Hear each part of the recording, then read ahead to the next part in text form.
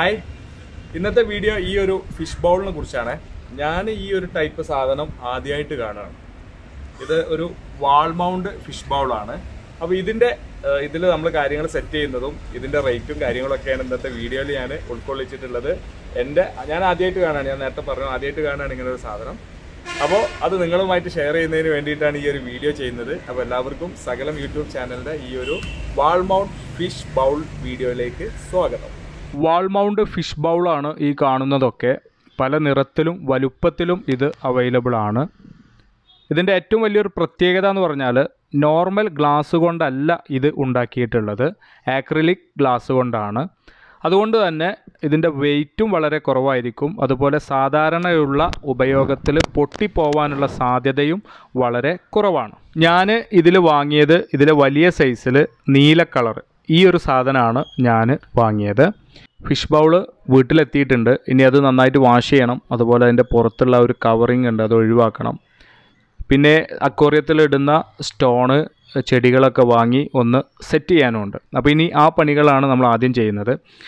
അപ്പോൾ അതിനു വേണ്ടി അതിന്റെ അകത്തൊരു വാറണ്ടി കാർഡ് നമ്മൾ കണ്ടിട്ടുണ്ടായിരുന്നു. അത് ഒന്ന് എടുത്തു നോക്കാം. പന്ത്രണ്ട് മാസമാണ് അവരിതിന് വാറണ്ടി പറയുന്നത്. അതിന്റെ ഒരു കാർഡാണിത്. അതുപോലെ അത് എങ്ങനെ സ്ക്രൂ ചെയ്യണം എങ്ങനെ ഫിറ്റ് ചെയ്യണം എന്നുള്ള ഒരു കാര്യവും ആ വാറണ്ടി കാർഡിന്റെ ബാക്കിൽ അവർ കൊടുത്തിട്ടുണ്ട്.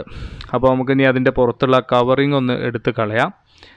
അത് നല്ലതാണ്. സ്ക്രാച്ചൊക്കെ വരാതിരിക്കാനാണ് ഇങ്ങനെ ചെയ്യുന്നത്. അതെടുത്തു കഴിഞ്ഞാൽ ഇതാ ഇങ്ങനെ ഇരിക്കും. അതിന്റെ അകത്തൊക്കെ ഉള്ളത് ഒഴിവാക്കുക. ഇതിലൂടെയാണ് വെള്ളവും മറ്റുമൊക്കെ സെറ്റ് ചെയ്യാനുള്ള ഹോൾ ബാക്കിലൊരു ഹോൾ കാണാൻ പറ്റും നമുക്ക് ഹാങ് ചെയ്യാനുള്ള ഹോൾ ഇതാണ് അതിന്റെ ഒരു സെറ്റപ്പ് അപ്പോൾ ഇനി നമുക്ക് അക്വേറിയം ഷോപ്പിൽ നിന്ന് വാങ്ങിയിട്ടുള്ള കുറച്ച് കല്ലുകളുണ്ട്. അതും ഒന്ന് വാഷ് ചെയ്യാം. വാഷ് ചെയ്തതിന് ശേഷം നമുക്ക് അക്വേറിയം ഒന്ന് ആ ഒരു വാൾ മൗണ്ട് ഫിഷ് ബൗൾ ഒന്ന് സെറ്റ് ചെയ്യാം.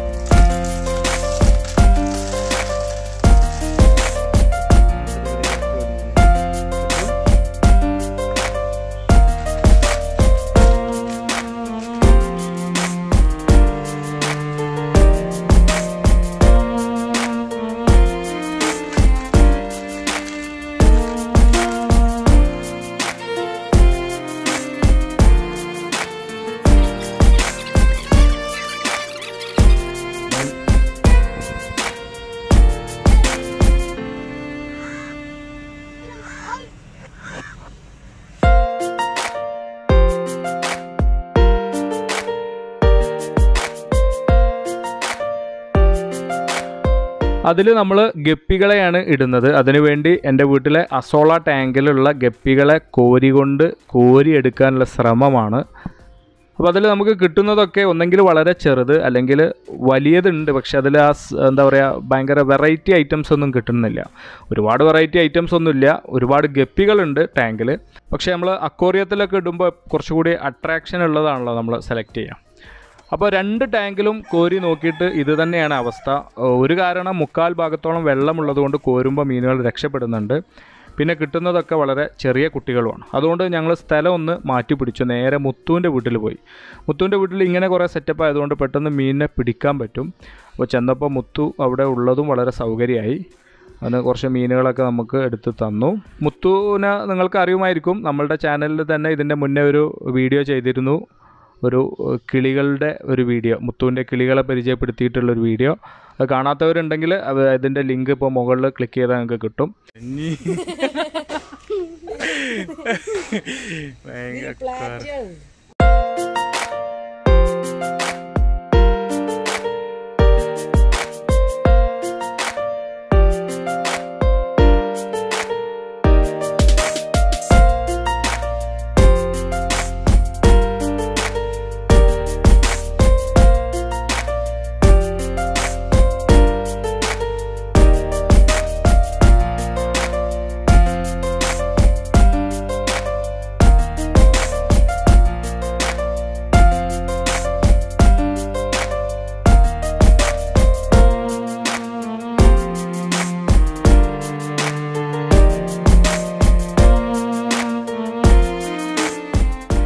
അങ്ങനെ മുത്തുവിന്റെ അടുത്ത് നിന്ന് പതിനൊന്നോളം മീനുകൾ നമ്മൾ വാങ്ങി. വാങ്ങിയതല്ല എടുത്തുകൊണ്ട് വന്നു. ഗപ്പിയുണ്ട് പ്ലാറ്റിയുണ്ട് മോളിയുണ്ട്. ഇനി നമുക്ക് ഇവരെ ഇട്ട് വെക്കാനുള്ള ആ ഒരു ഫിഷ് ടാങ്ക് ചുമരിൽ കൊടുക്കണം. അതിന് വേണ്ടിയിട്ട് സ്ക്രൂ ചെയ്യണം. അപ്പോൾ അതിന് വേണ്ടി ആദ്യം നമ്മൾ ഡ്രില്ല് ചെയ്യുകയാണ്. അപ്പോൾ ഡ്രില്ല് ചെയ്യുമ്പോൾ പൊടി താഴോട്ട് വീണ് പോകാതിരിക്കാനാണ് ഇങ്ങനെ ഒരു സംവിധാനം ചെയ്തിട്ടുള്ളത്. അപ്പോൾ സ്ക്രൂ ഡ്രില്ല് ചെയ്യുമ്പോൾ ആ പൊടി ആ ഒരു ബോക്സിലേക്ക് ആയിക്കോളും. അതിനുശേഷം നമുക്കതിങ്ങനെ സിമ്പിളായിട്ട് എടുത്ത് കളയാവുന്നതാണ്. അപ്പോൾ ഇനി അതിലേക്ക് പ്ലഗ് വെക്കണം. പ്ലഗ് വെച്ച് അതടിച്ച് താഴ്ത്തി അതിലേക്ക് സ്ക്രൂ ചെയ്യണം. പ്ലഗിലേക്ക് സ്ക്രൂ ചെയ്യുമ്പോൾ പൂർണമായിട്ടും അതിന്റെ അകത്തേക്ക് കടത്തി വിടരുത്. ചെറിയൊരു ഭാഗം ബാലൻസ് വെക്കണം. നമ്മളുടെ വാൾ മൗണ്ട് ഫിഷ് ടാങ്ക് അതിൽ കൊളത്തി വെക്കാനുള്ളൊരു ഏരിയ ഏതാണ്ട് ഇത്ര കണ്ട് പുറത്തേക്ക് തള്ളി നിൽക്കുന്ന രീതിയിൽ നിർത്തിയതിന് ശേഷം ഇതുപോലെ നമുക്കതിൽ ഈ ഒരു ടാങ്ക് പിടിപ്പിക്കാവുന്നതാണ്. ഇനി നമുക്കതിലേക്ക് വെള്ളം ഒഴിക്കുക എന്നുള്ളതാണ് ചെയ്യാനുള്ളത്. അങ്ങനെ ഇനി നമുക്കതിന്റെ ഒരു മുക്കാൽ ഭാഗത്തോളം വെള്ളം നിറക്കാം.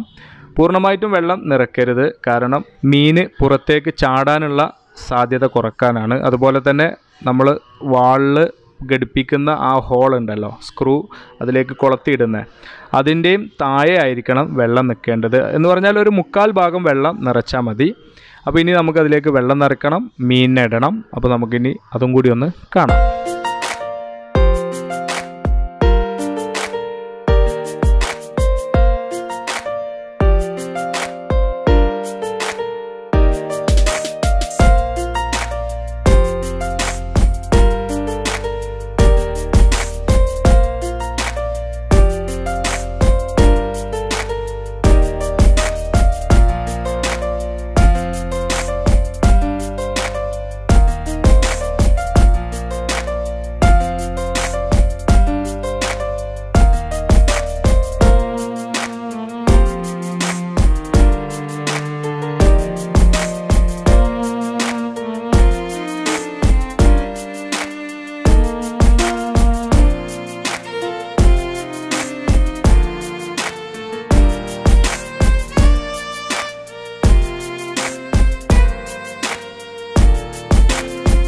ഞാൻ ഇത് വാങ്ങിയത് പെരിന്തൽമണ്ണ അക്വ പോയിന്റ് എന്നാണ്. അവരുടെ കോണ്ടാക്ട് ഡീറ്റെയിൽസ് ഞാൻ ഡിസ്ക്രിപ്ഷനിൽ കൊടുക്കുന്നുണ്ട്.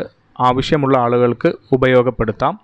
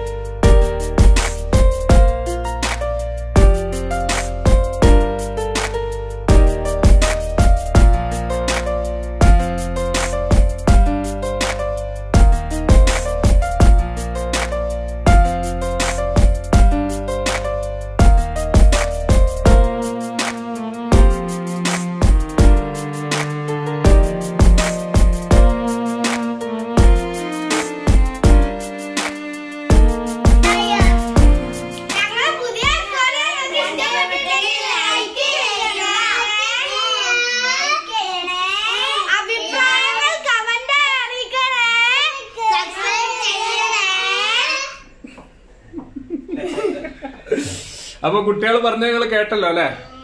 ഈ അക്വേറിയവുമായി ബന്ധപ്പെട്ട ഈ ഒരു വീഡിയോ നിങ്ങൾക്കൊക്കെ ഇഷ്ടപ്പെട്ടിട്ടുണ്ടെങ്കിൽ ലൈക്ക് ചെയ്യുക അതുപോലെ തന്നെ ഷെയർ ചെയ്യുക. എന്റെ ഈ ചാനലിൽ നിങ്ങൾ ആദ്യമായിട്ടാണെങ്കിൽ താഴെ കാണുന്ന ചുവന്ന നിറത്തിലുള്ള സബ്സ്ക്രൈബ് ബട്ടൺ അമർത്തി ചാനൽ സബ്സ്ക്രൈബ് ചെയ്യുക. Thank for watching my YouTube channel സകലം. ബൈ